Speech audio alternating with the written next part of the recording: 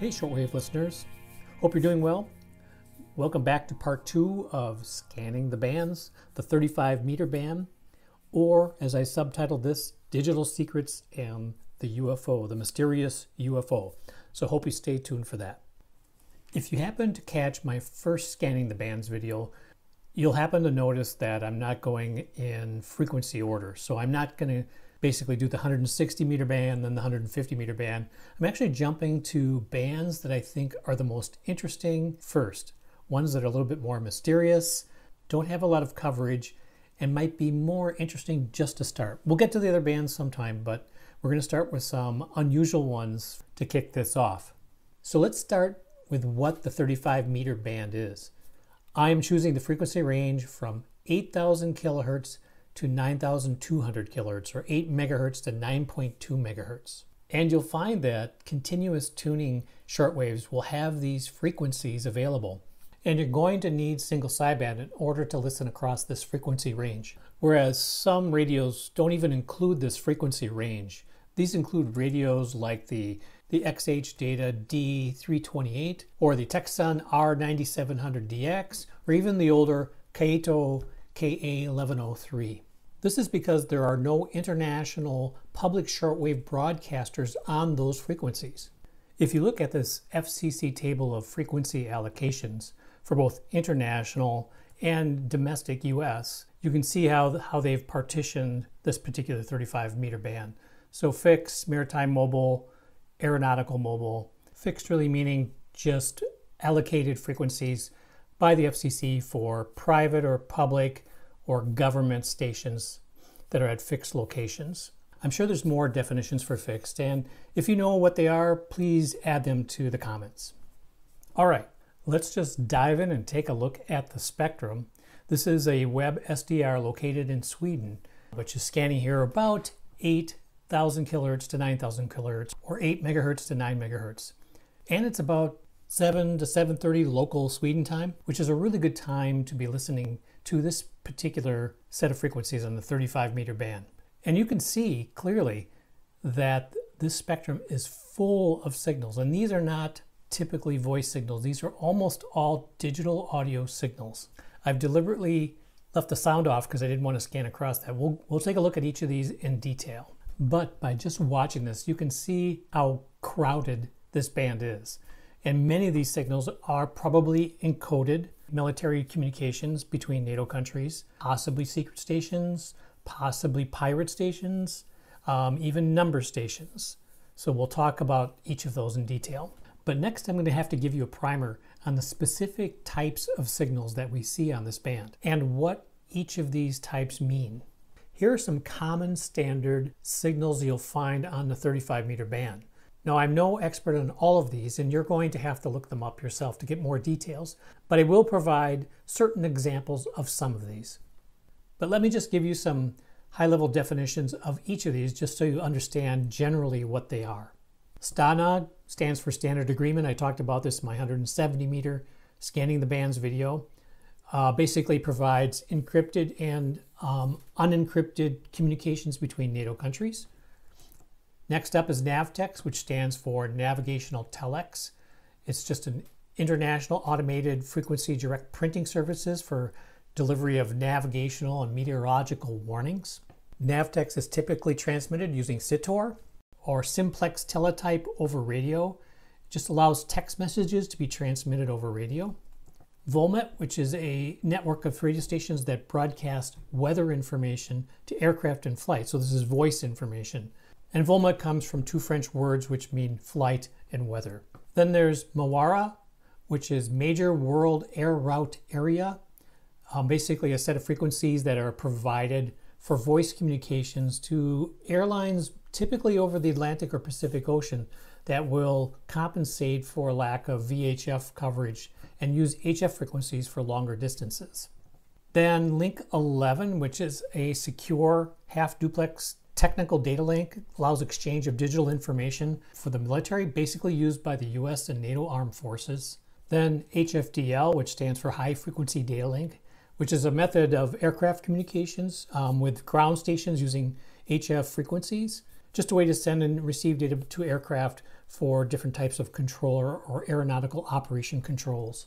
And then fax modem, which just uses a similar frequency shift keying, much like the other signal types, which typically be things like ocean currents and weather charts.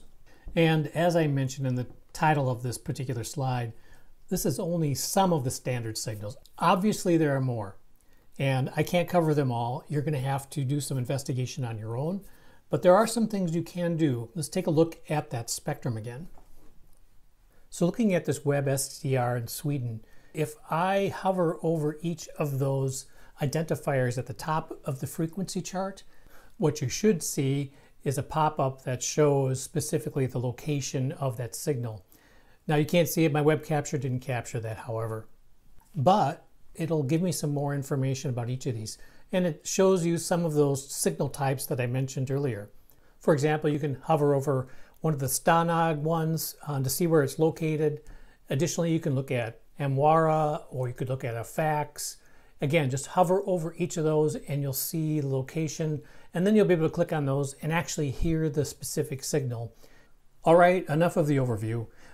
Let's start listening to some of these signal examples. First up, STANAG, everyone's favorite, the airplane sounding fan noise that, that you find across multiple frequencies.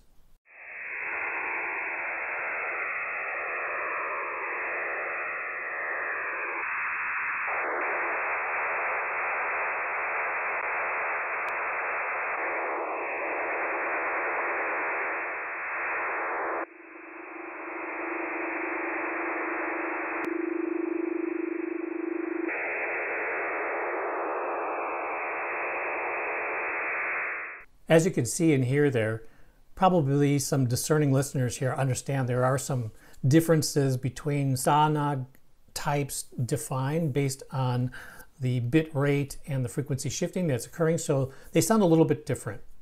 They're easy to identify just by listening. Next up is a Navtex example.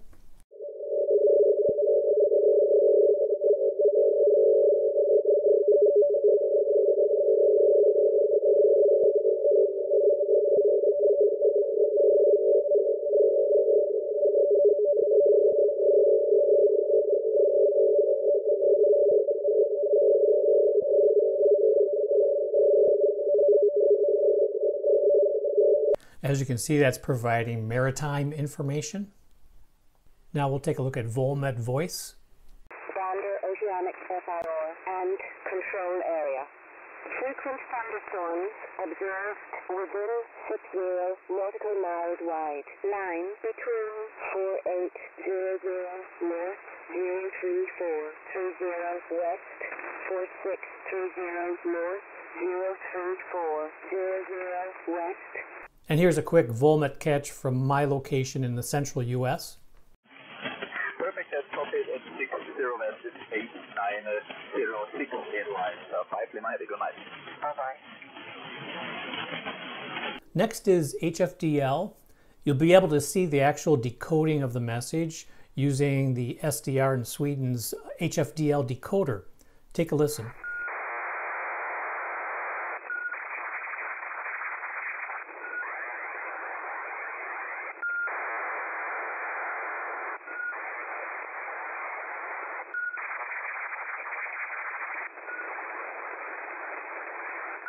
And here's an example of a modem fax. You'll be able to see the actual decoder uh, drawing an image, it looks like, of the Russian coastline. Take a look.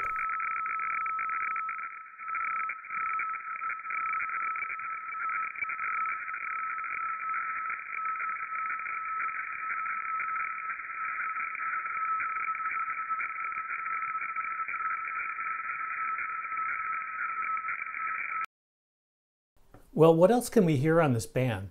There's plenty of mysterious signals across this range of frequencies.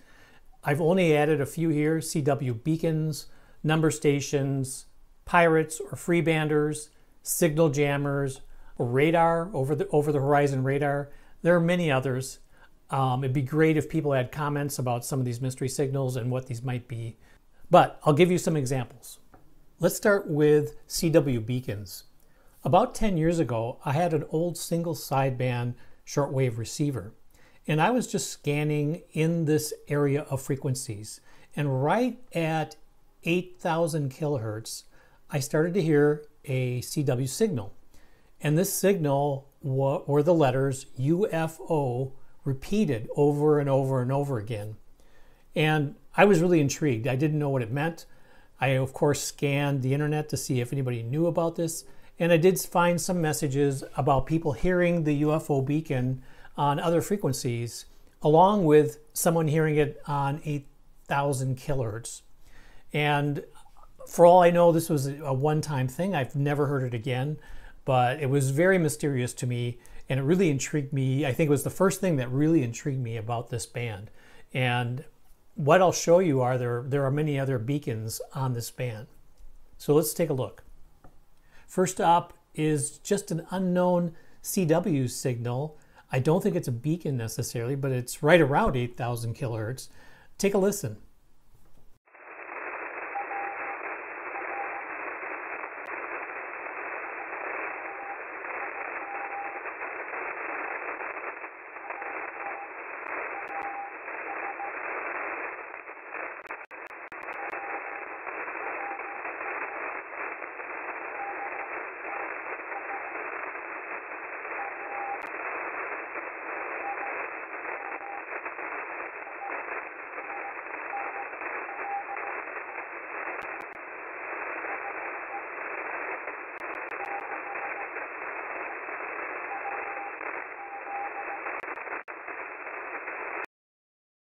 Now I can't quite tell if that's a beacon or just a CW number station or just some general CW uh, for, say, military purposes.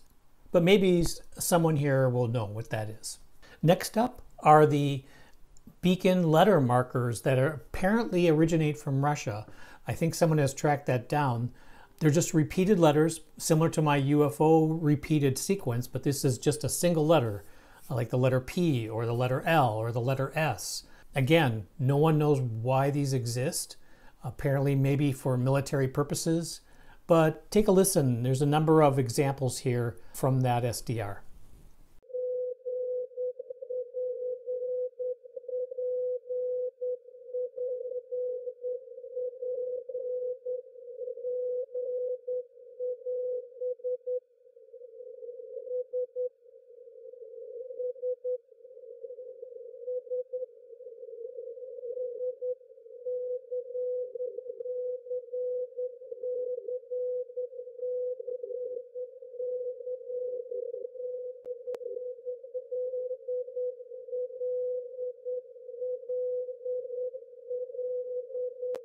Really interesting and really mysterious. Next, we have our first number station. Most of you, I'm sure, are familiar with number stations. This particular one is part of the US military. It's called the High Frequency Global Communication System, and they basically transmit on multiple frequencies a number of messages, some of them in clear, clear voice messages, others that are just um, numbers and letters, alphanumerics, that are encoded transmissions, sometimes known as EAM or emergency action messages. I think there's a lot of information here online. You might want to go take a look at it, but take a listen. Here, here's an example of an actual message being transmitted that I picked up at my home location.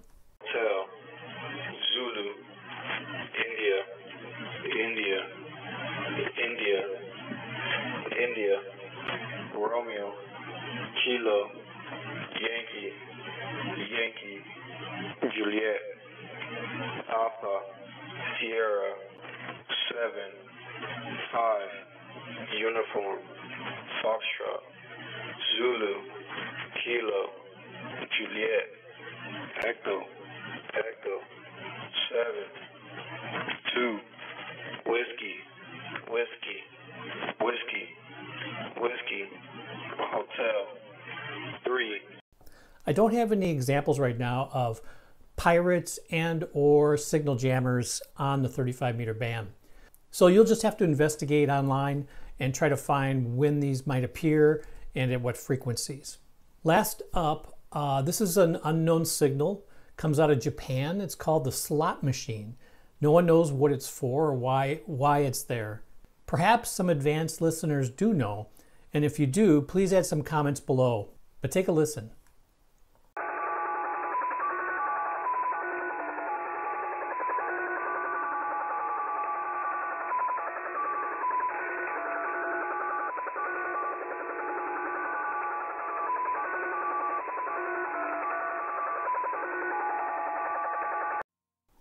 Well, I think that's enough to give you a broad overview of what the 35 meter band is all about. And hopefully you'll spend some time experimenting and listening and discovering some new things about that band. So take care. Uh, I hope you subscribe and keep listening to Shortwave. Thanks.